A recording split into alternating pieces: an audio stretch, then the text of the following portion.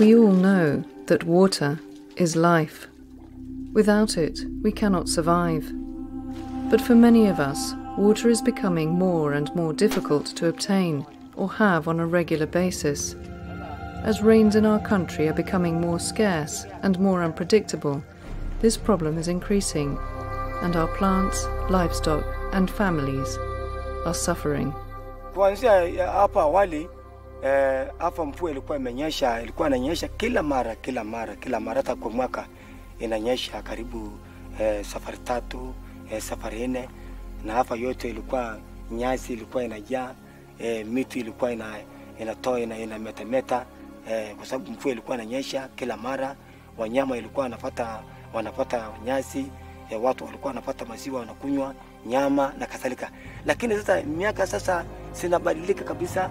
Miaka sasa kuanzia wakati huu mvua yenyeshi hata naweza kumaliza eh, miaka mbili mpaka wanyama kabisa inakwisha na eh, wanyama inaenda mbali kabisa kutapata nyasi, na sasa hata maji inaisha eh, kwa mto ile kubwa kubwa ambayo angeweza kushika maji alafu eh, wananchi wanakunywa. Like this season, we did plant thinking that the rain will come in time. But to our surprise, the rain came very late. And you will find even our harvest now, we, are not, we were expecting 80%. It is gone now to 40% only. Not only that, even with the side of vegetable, we cannot grow vegetable now unless now we use water from the spring. So we are really is a problem with the climate change within this area. This climate change that is affecting all of the world is not the only problem when it comes to water. For some, when the rains do fall, there is a terrible problem of flooding. This may be due to heavier downfalls caused by climate change, but it's also due to deforestation. With no trees to hold the soil together or absorb the water underground, it has nowhere to go but over the surface of the soil, washing it away into the ocean and lakes where it is of no use to us. On its way to the lakes or seas, the people in the valleys will be the ones to suffer. Ikizidi sana watu wanahama. Hata mara mingi tunaletewaga misaada kama hema, wengine wakaishi kwa chief camp wakaletewa vyakula. Maisha inakuwa ngumu. Both these problems of flooding and scarcity of water can either be made worse or substantially improved by the way we choose to live. First of all, it is of extreme importance that we recognize the connection between trees and water. I came here in 1975. That is, I was married here in 1975. During those days, these hills were covered with trees. It was bushy, I mean, it was a forest. And we used to have rain almost every single day of the year. From around 1.30, we were sure it was going to rain till about 3 p.m. or 4. And then people started cutting down trees for charcoal and firewood. And the forest has disappeared. And we do not have those rains anymore. We are not even sure of our long rainy seasons. And we hardly even dream of the short rain seasons. Deforestation has caused us a great deal of problems when it comes to water supply, as it lowers the water table, causing our rivers and lakes to dry up, and at the same time it increases the possibility of seasonal flooding and soil erosion. It's the deforestation of the hills above Clarissa Buto's farm that have caused her a great many problems. The way the farm is situated just below the hills, we experience a lot of uh, water runoff and topsoil erosion. And so uh, the fertility of our soil, we, no, we no longer produce those big maize crops that we used to in the 70s. I have seen that deteriorate down the years.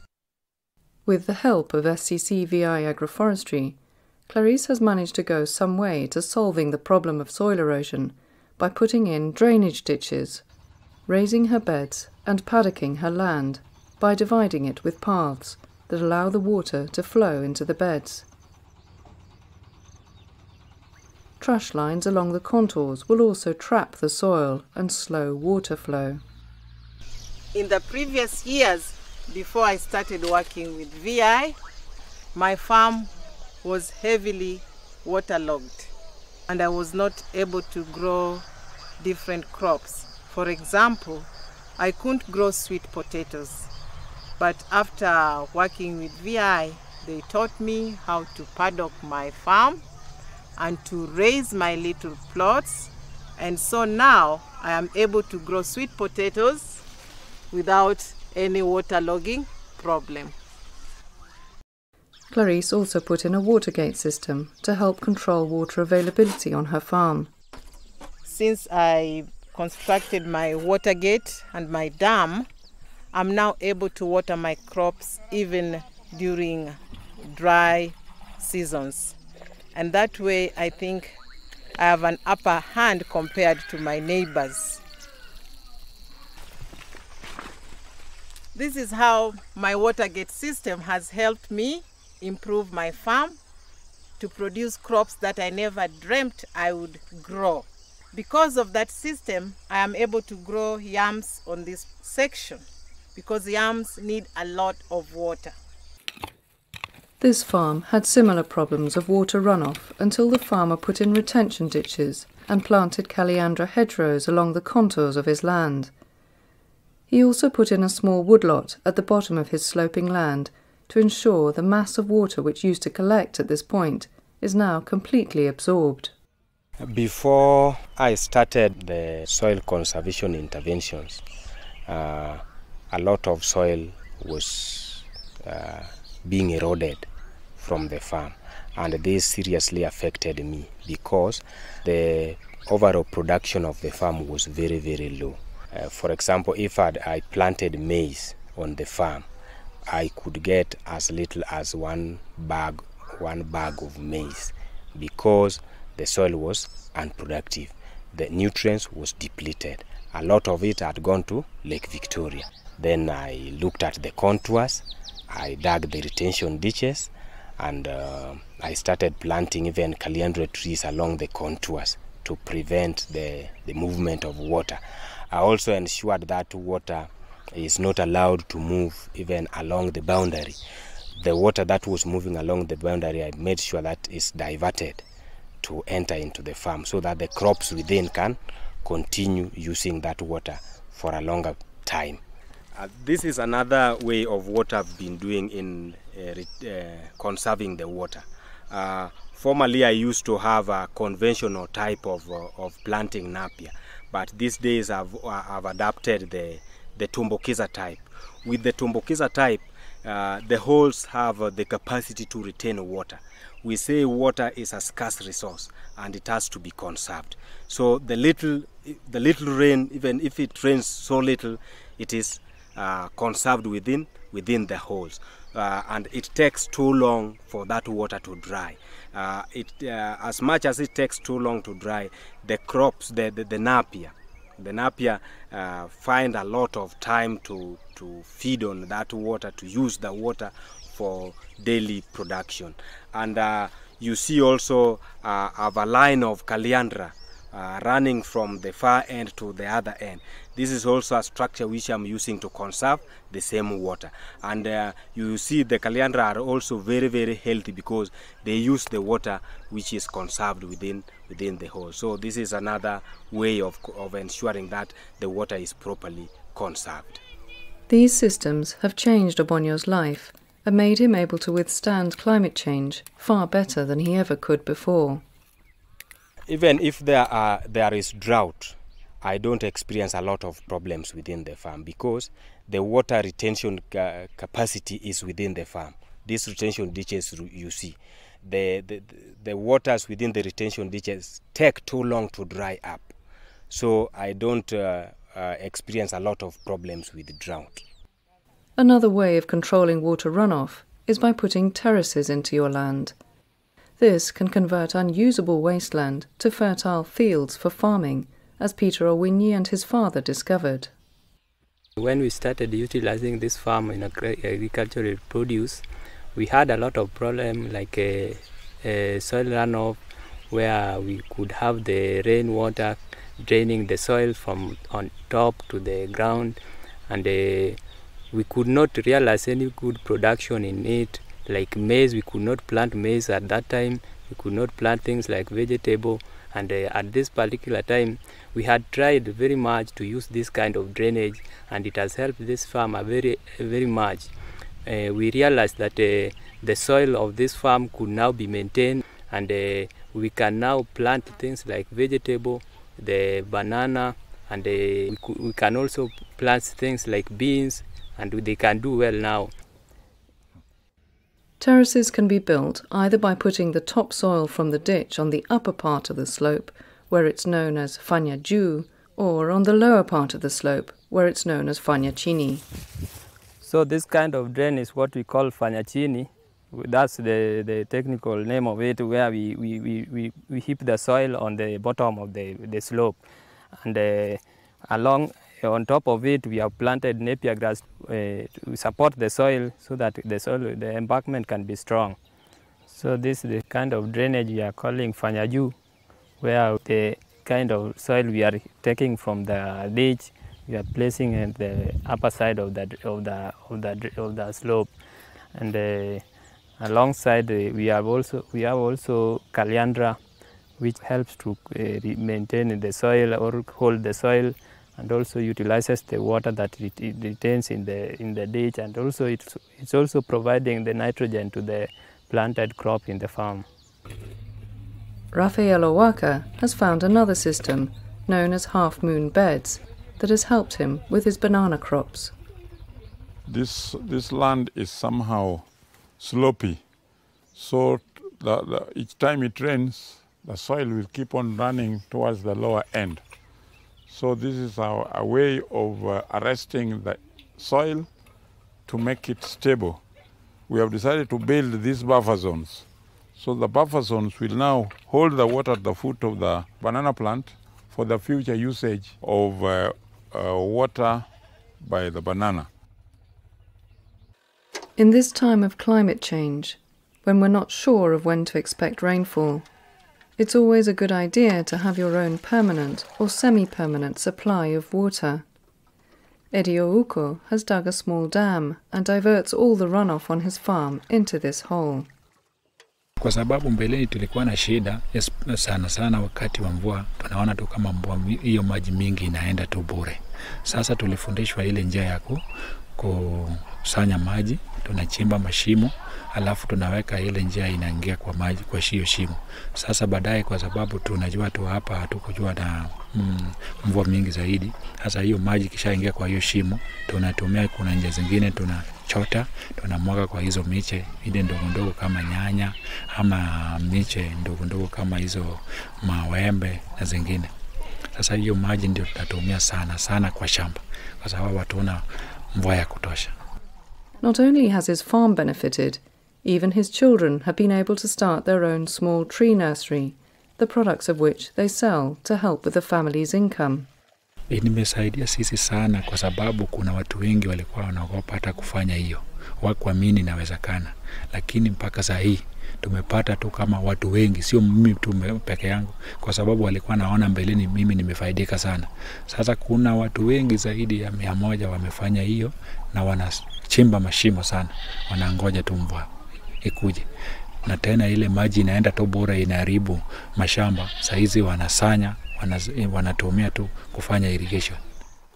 By harnessing water in this way, you may also be in a position to start a small fish farm and increase your income, as Amos Owiti has done.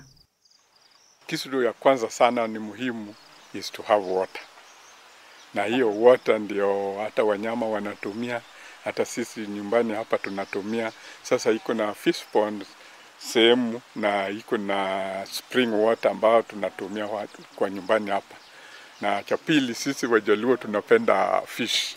Sasa niliona badala ya kwenda kwa sokoni or eh, kukimbia huko, niwe na samaki nyumbani nikiharvest watu wa hapa ambao wanataka samaki wanapata hapa kwangu kwa bei rahisi, kwa maana tunapima tu kwa mkono namna hii, ni wananunua. Na tena hiyo maji tuna tunafanya na hii vegetables, wakati wa drought tunamwagia na nini vegetables. Kuna wakati hiyo wale ambao hawako karibu na mtoni wanaangaika, wanakuja kununua mboga, wanaenda kuuza. Saa hiyo ndio tunapata pesa. Kwa hiyo hiyo fish pond inatusaidia zaidi. It's clear that there is a huge amount of water that is completely wasted when it rains, and there are simple ways for us to harness this precious resource without even leaving the house.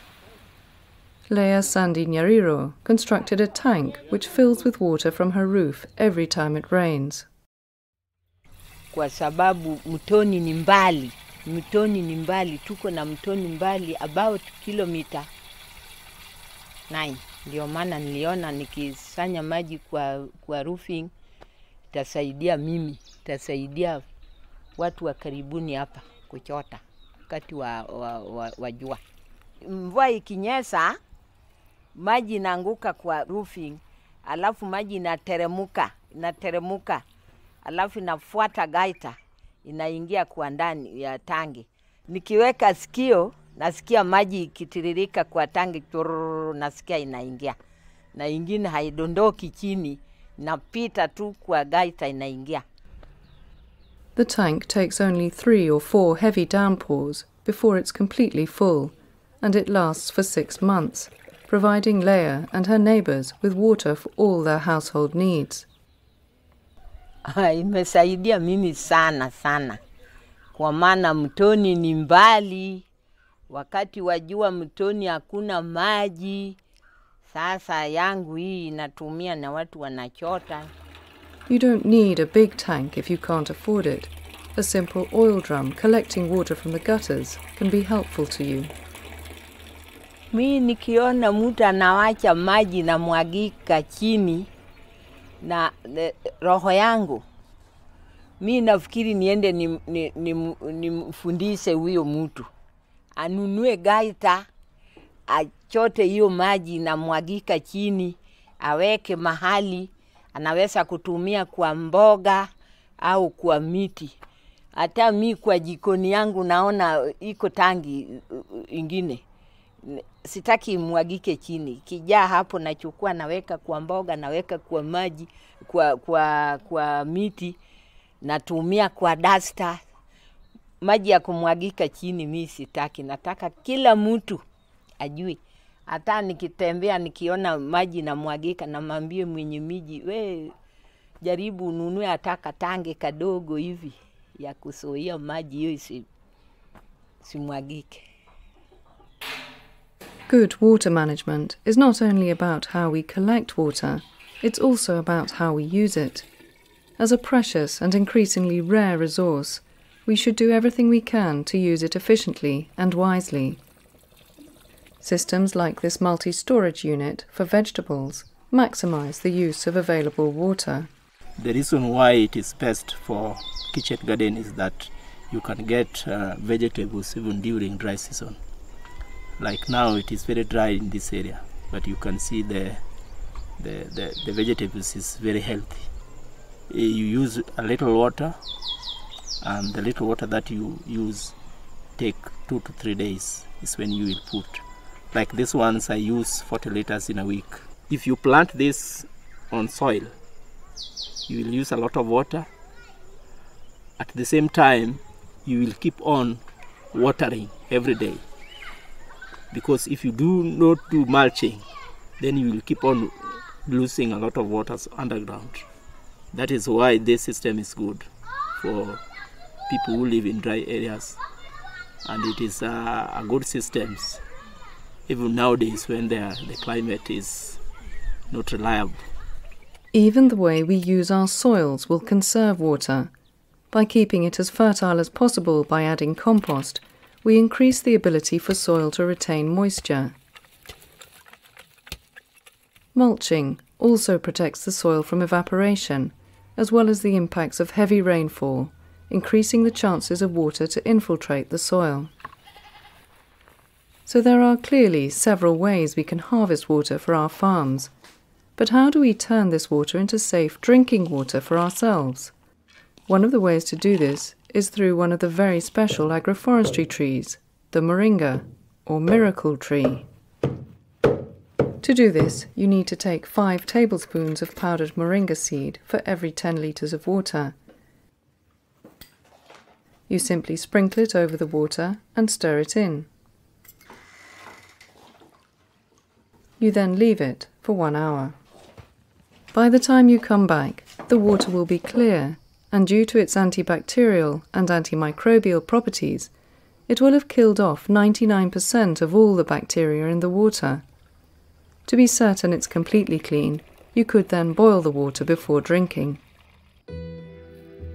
In addition to the benefits of the moringa, by growing as many other agroforestry and indigenous trees around your farm, you will also help control the water you have by decreasing erosion, absorbing and trapping the rainfall in the soil, and also raising the water table so that your crops will have access to the water that is available underground. One thing is critical. We must stop the massive deforestation that is blighting our country, as this will have, and is already having, a terrible impact on us all. Hii machi yetu yote ambao labda ni kutokana na mvua, kutokana na mito zetu, inafaa tutunze, kwa sababu tusipotunza hii maji yakiteremuka kwenda mtoni, yanabeba mchanga wetu, yanabeba madini yetu, yanapeleka mtoni na kisha eh, siltation katika hiyo mto ita, itaendelea kuwa mbaya na tutaharibu mito yetu. Tunahitaji kukuwa na maji safi, na hiyo maji safi tutakuwa nayo tu wakati tutakapozuia mnyonyoko wa udongo na tutunze kwa njia ya upanzi wa miti. Water is life. We need to respect it and cherish it. We need to provide an environment that will encourage rain to fall and encourage it to nourish the soils rather than destroy them. If we can do this, we are giving ourselves the gift of life.